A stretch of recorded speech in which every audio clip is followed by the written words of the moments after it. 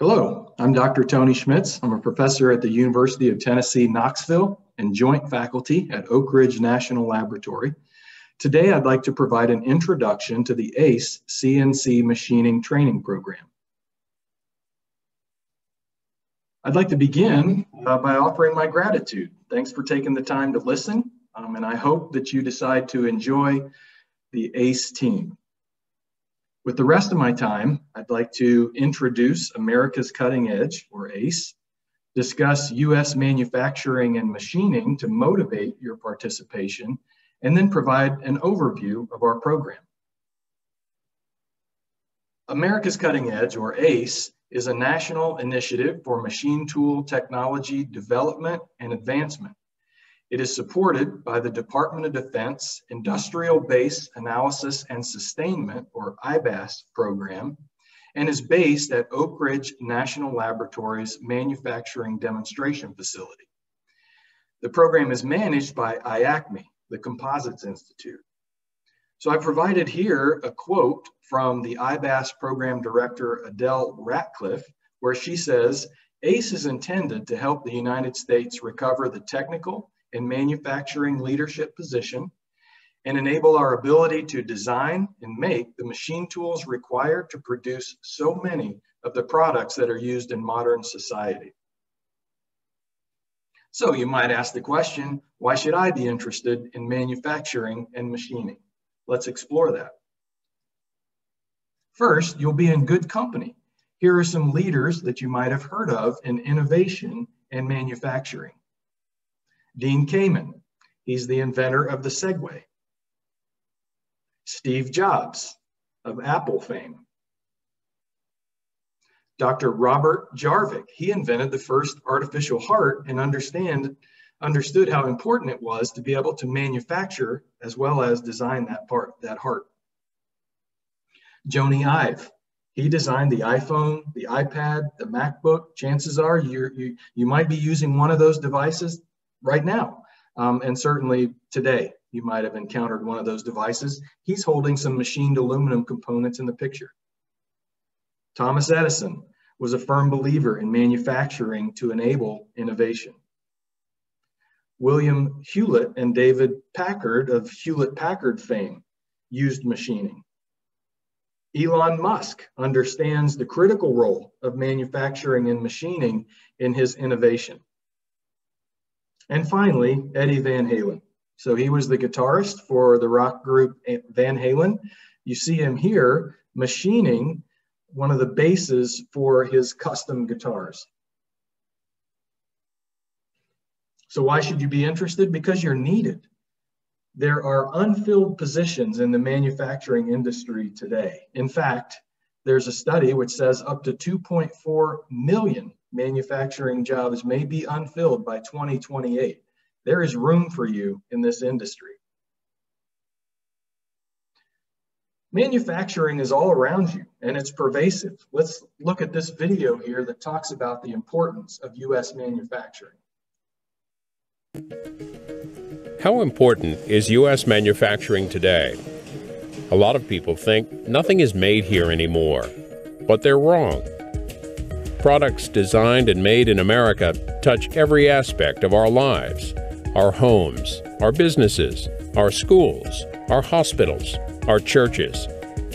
They make possible everything we do, whether we're driving, exercising, reading, eating, sleeping, or simply lying on a beach. In fact, the American manufacturing sector is much, much bigger than you might think. Official statistics tell us manufacturing represents 11% of today's economy and 9% of the American workforce, but this underestimates the sector's full impact.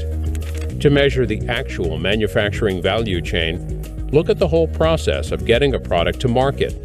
It starts with a manufacturer's upstream supply chain. Miners, scientists, engineers, specialized suppliers, transportation firms, and other service providers are all involved in the prep for the factory floor. A lot of labor skill, energy, resources, services, and process management goes into making the product in the factory. Then, once the product is sitting on the loading dock, a large downstream sales chain jumps into action to ensure it's available for customers to buy. These include wholesalers and distributors, specialists in logistics, more transportation firms, professional service providers, and retail stores. All in all, manufacturing's value chain is much larger than official statistics suggest. It actually accounts for more than one third of the U.S. economy. And the people who work in this value chain represent one third of the country's workforce. Just as important, manufacturing's value chain has enormous impact on society. For every $1 of manufacturing value created here, $3.60 in additional economic activity is generated across the rest of society. No other sector can match that. Put another way, each manufacturing job created in this country leads to 3.4 jobs in non manufacturing industries to take a product from start to finish. So, next time someone says, We don't make anything here anymore, set them straight. American manufacturing is vast and remains one of the most influential sectors in our 21st century economy. To learn more about manufacturing's vital role in our lives, visit mapi.net forward slash multiplier.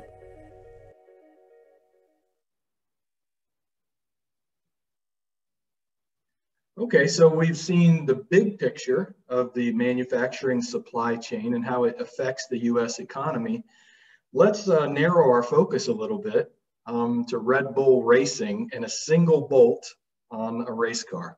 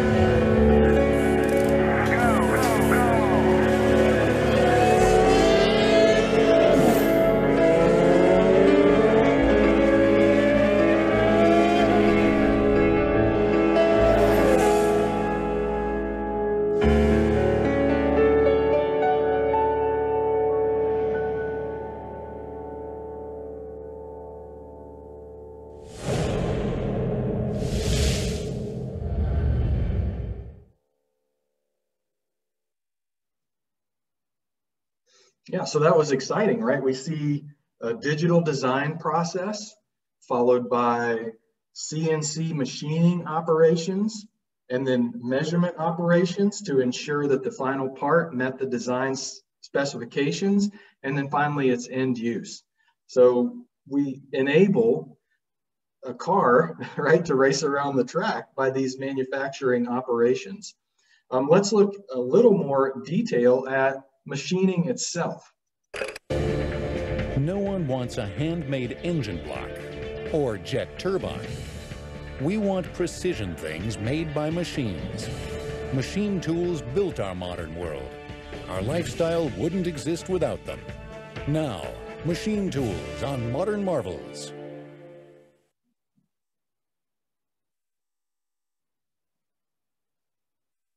So there are, there are many machining operations that make up the ecosystem of machining. Um, that industry is actually very large. Um, annually, it is responsible for $325 billion. And this represents 2% of the gross domestic product for the US or the size of our economy. You know, but really it's more than that. If we think back to the supply chain video that we saw, remember that manufactured goods plus manufacturing for other industries represents about one third of the gross domestic product and employment in the US. It also has a multiplier effect. So for every dollar of domestic manufacturing value that is added, another $3.60 is added elsewhere. And then finally, for every job that we create in manufacturing, there are 3.4 other jobs created in non-manufacturing industries because of that manufacturing job. So the footprint is very large um, and we need you to be part of that footprint. Finally, machining is high tech. When you enter a modern machining facility, you'll see something like this. It's clean, it's high tech, it's a work environment where technology is leveraged to enable today's manufacturing. And finally, it's important for the environment. So the picture here shows a shipping container that might carry manufactured products or equipment across an ocean. So there's lots of interest in reshoring the US supply chain because of the environmental impact of shipping. So the shipping um, container capability that you see here produces pollution which is equivalent to 50 million cars. In fact, if the shipping industry was a country itself, it would be ranked as the sixth largest contributor to global carbon dioxide emissions. So pulling manufacturing together um, that doesn't need to cross an ocean has the potential to have a dramatic effect on the global environment. Okay, so hopefully we've, we've gotten motivated um, to be interested in manufacturing and machining in particular. And so that would lead you to join the ACE CNC machining training program. So what is that? Well, there's two components. There's an online component that you complete at your own pace on your own computer. And then there's an optional in-person training, which we're scheduling for summer 2021. For the online component, it includes about six hours of instruction and it's composed of several modules. There's a machining tutorial, which covers topics which let you become familiar with machining.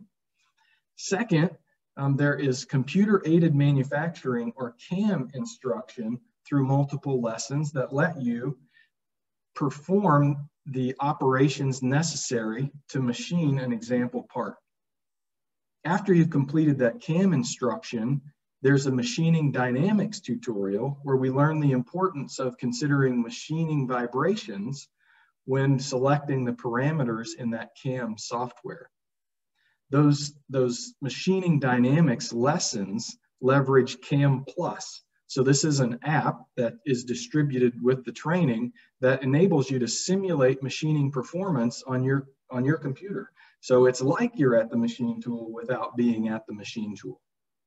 Finally, there's an introduction to machining costs so we can understand the influences of things like tool wear, the machining parameters that you selected, and the role of vibrations in cost.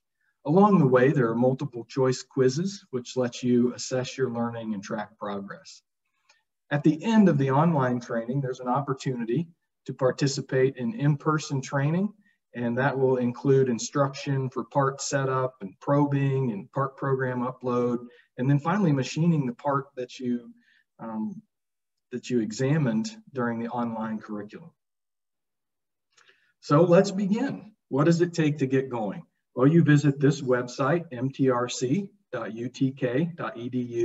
forward slash ACE, ACE and that lets you register for the online training and proceed. Once you register, you'll get instructions for how to download the files, and then you do everything else online.